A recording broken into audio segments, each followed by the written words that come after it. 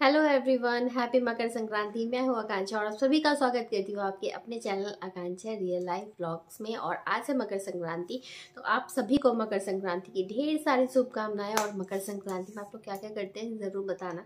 Actually basically इसमें यही होता है कि दही चूड़ा खाया जाता है। कई जगह पे इसे पोंगल के नाम से जानते हैं, कई जगह पे इसे बिहू के नाम से भी जानते हैं। कई जगह इसे लोहड़ी के नाम से भी जानते हैं। तो हर स्टेट में इसका अलग अलग रिवाज है। तो जैसा मैं जानती हूँ, मैं बिहार से ही रही हूँ। तो बिहार में दही चूड़ा ही खाते हैं इस दिन। लेकिन मैं जहाँ पे रह रही हूँ, मैं जहाँ से बिलोंग करी हूँ, वहाँ पे दही चूड़ा नहीं खाते। तो जहाँ मैं पहले थी, वहाँ पे दही चूड़ा खाते थे।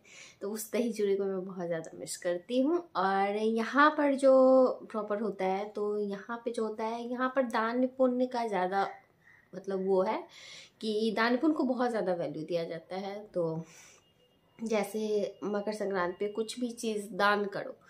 जैसे मम्मी ने इस बार सॉल दान किए हैं, चौदह सॉल दान किए हैं। तो हर साल चौदह चीज़ें कुछ ना कुछ दान किया जाता है और चूड़ा दही यहाँ पे कोई नहीं खाता है।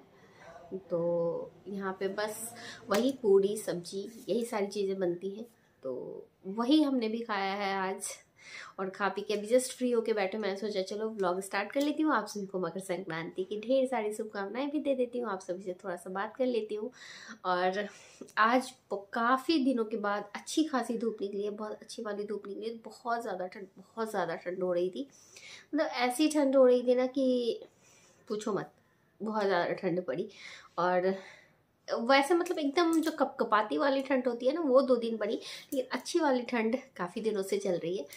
और आज मतलब कि दो दिन से, कल और आज बहुत अच्छी धूप निकल रही है, बहुत ही अच्छी मतलब इतनी तेज़ निकल रही है कि आप धूप में बैठ नहीं सकते हो।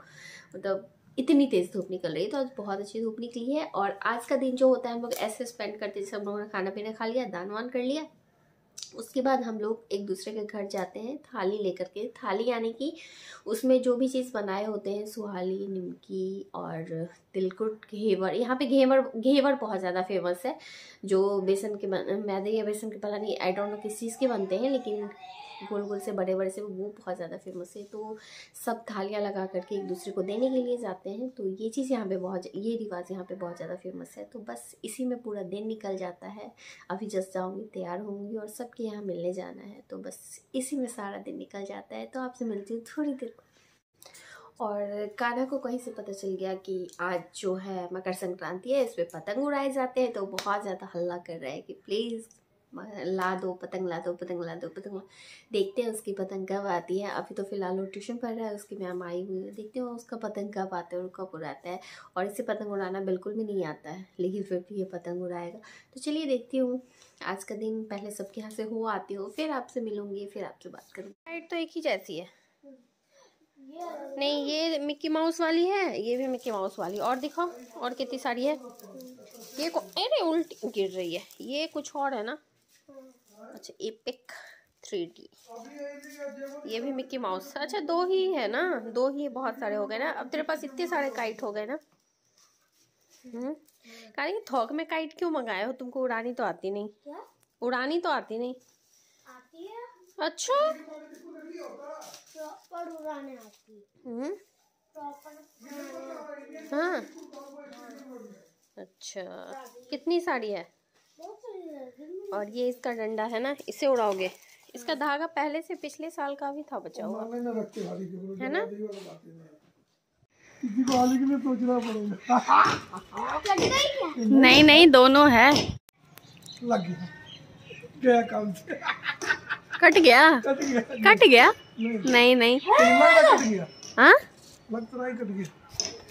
हाँ कट गया काना वो कट गया। कट गया? जा रहे हैं इतनी ज़्यादा ठंड तो मैंने ग्लव्स वगैरह पहन ली है और बहुत ज़्यादा काफ़ी ज़्यादा ठंड है काफ़ी ज़्यादा मतलब कवर हाँ। बहुत ज़्यादा ठंड है और मतलब बाहर बहुत ही अच्छी सी मौसम है बहुत अच्छा सा हो रखा है बिल्कुल अंधेरा सा और हवा तेज़ चल रही है जिस वजह से ठंड है ठंड में कनकनी है हाथ वाथ बिल्कुल बर्फ़ जैसे लगता है जैसे हाथ में कोई जान ही ना हो ऐसा हो जाता है तो मौसम को हम लोग एंजॉय कर रहे हैं और रात में घूमने निकले रात में घूमने निकलेंगे ऐसे मौसम में घूमना बहुत अच्छा लगता है। ठंड को एंजॉय करना।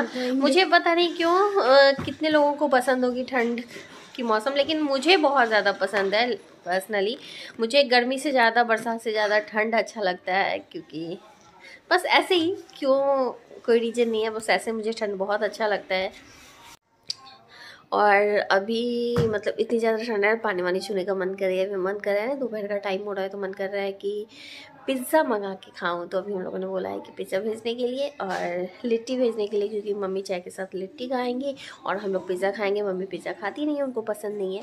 तो अभी हम लोगों ने बोला है और ऐसे मौसम में ना, सुबह पराठे वराठे खा लो, फिर दिन में खाने का मन नहीं करता। है थोड़ा सा कुछ, लेकिन पिज़्ज़ा बहुत ज़्यादा हैवी हो जाता है। फिर भी हम लोगों का मन किया पिज़्ज़ा खाने का तो मैंने मंगवाया है अभी। अभी आएगा, फिर हम लोग पिज़्ज़ा खाएँगे।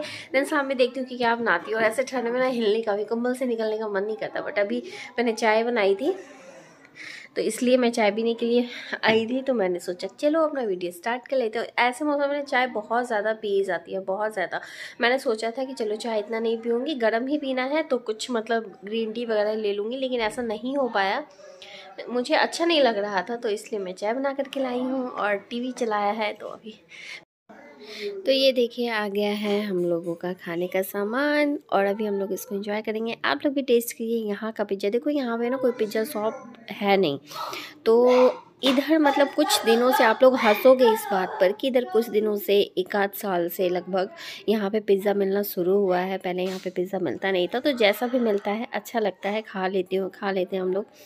ना से तो हाँ अच्छा ही है, नहीं मिलता था, मिलने लगा है तो ये रहा पिज़्ज़ा और अभी हम लोग इसको खाएँगे। आप लोग भी टेस्ट करके बताओ कि यहाँ का पिज़्ज़ा कैसा है। आप लोग, मुझे पता है आप लोग इससे अच्छे अच्छे पिज़्ज़ा खाते होगे, लेकिन यहाँ का खा के बताओ कैसा है। मुझे सिंपल में ये बेस्ट लगता है। और मैकडोनल्ड्स तो नहीं है ऑब्वियसली क्योंकि ये बहुत छोटी सी जगह है, लेकिन हम लोग इसी में खुश हैं। यही खा करके हम लोग इन्जॉय कर लेते हैं। और चलो तो इस वीडियो को करती हूँ यहीं पर एंड मिलूँगी नेक्स्ट वीडियो में नेक्स्ट व्लॉग के साथ। तब तक के लिए बाय बाय आप लोग खुश रहिएगा और बाहर जो एक ओमिक्रोन जैसा वायरस घूम रहा है तो आप लोग प्लीज़ बाहर मत घूमिएगा, उसे ही घूमने दीजिए। आप लोग अपने घरों में रहिएगा, सेफ़ रहिएगा और स्वस्थ रहिएगा। तो मिलोगे नेक्स्ट वीडियो में, तब तक के लिए बाय बाय और जो लोग मेरे चैनल पर पहली बार आए हैं लोग प्लीज़ मेरे चैनल को सब्सक्राइब कर लीजिएगा वीडियो को लाइक कर दीजिएगा और ज़्यादा से ज़्यादा शेयर कीजिएगा अपने फ्रेंड्स के साथ, अपने रिलेटिव्स के साथ। और आप लोग मुझे जो प्यार दे रहे हो, उसके लिए बहुत बहुत धन्यवाद आप सभी का। तो चलो मिलूँगी नेक्स्ट वीडियो में। Bye love you all guys love you